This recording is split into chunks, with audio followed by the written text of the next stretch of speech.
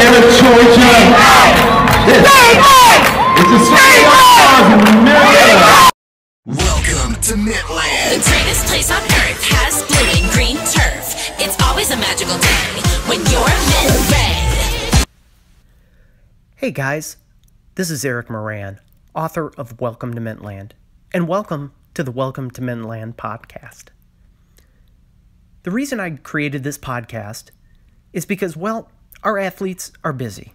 Between school, other curricular activities, practice three to four times a week, and the competition season, it's a little tough to sit down and digest a book. I created this podcast with young readers and listeners in mind. I'm going to chop this book up into 10 minute segments so they're easily digestible and easy to listen to on the go. I hope you enjoy chapter one of Welcome to Mintland. Thank you for listening. Welcome to Mintland, written by Eric Moran, based on a true story. This book is dedicated to my daughters and the 2014 2015 Mini Mints and Mickey. Your effort, teamwork, and belief in yourself helped you to achieve a lifelong memory that will never be taken away. May you cherish this moment forever and reflect upon this as you go through life. May your path be filled with full outs that hit, tumbles that never bust, and stunts that never fall. Chapter 1 The Beginning of Something Special. As the 2013 2014 season wrapped up for the Stingray All Stars, it was quite evident that next year would be very different. With their first year in the books at one of the most world renowned gyms in the world, my young daughters found a passion for something they truly love. As a father, I was captivated as well. Two very close sisters spent every waking hour creating new routines, tumbling in grocery stores, and stunting on the back of couches.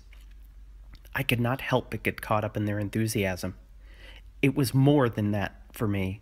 I fed off my daughter's enthusiasm. And learning about All Star Cheer became a passion of mine. I became a student and a sponge. After all, when you have a four year old and you take her to the Champions League movie and she critiques every level 5 team on form and being clean, you better know your stuff. The Stingray All Stars Peppermint are comprised of 6, 7, and 8 year olds. They are a group of kids that live within 30 mile radius of the Stingray Gym in Marietta, Georgia. A few come from farther. Level 1 means they are restricted by what skills they can throw in a routine. Basically, their hands or feet can never leave the floor for any tumbling.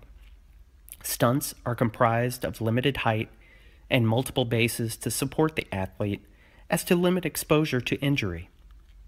Fun to watch, but compared to a senior level 5 team, it typically does not draw the same level of crowds or fanfare.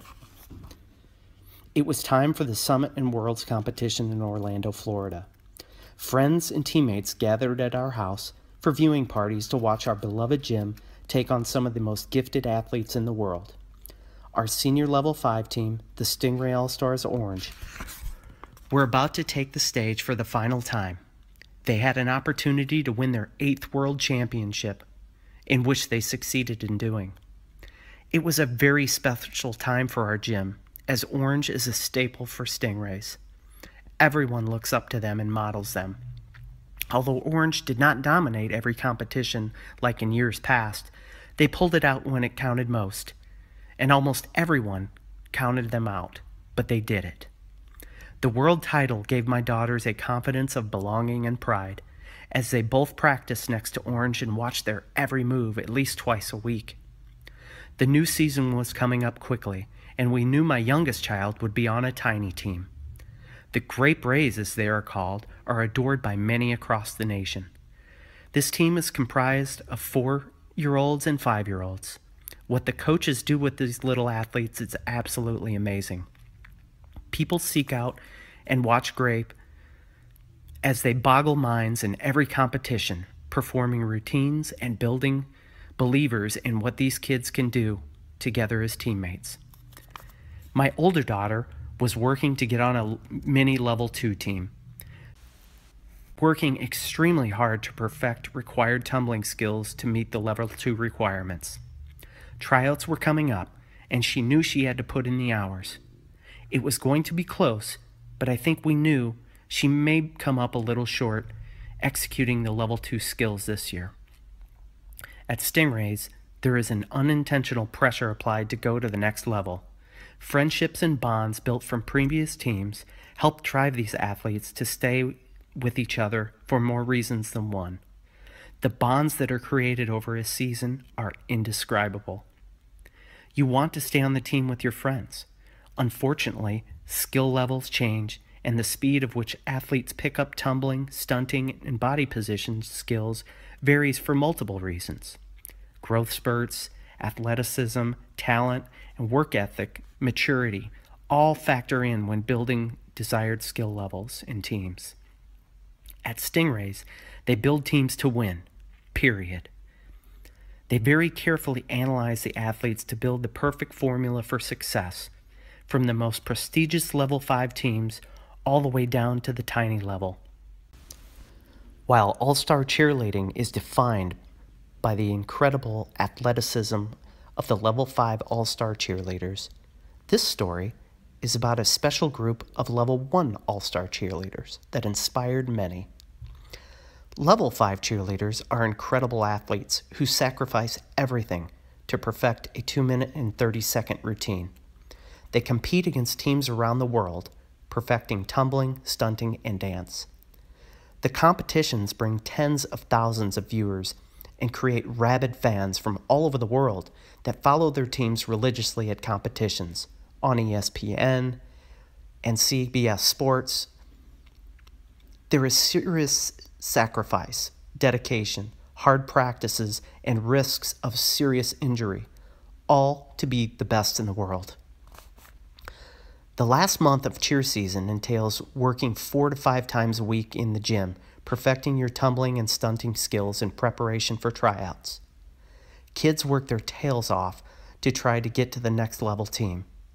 As a dad, it was important for me to make sure my daughters were set up to succeed, not so much that she moved on to the next level.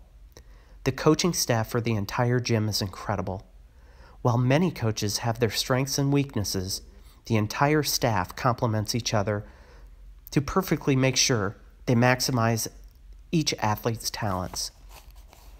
My daughter was on Peppermint in her first year, which was a very successful season. Peppermint won every single competition they entered, except the first one, where they finished in fifth place. The coaching staff was incredible.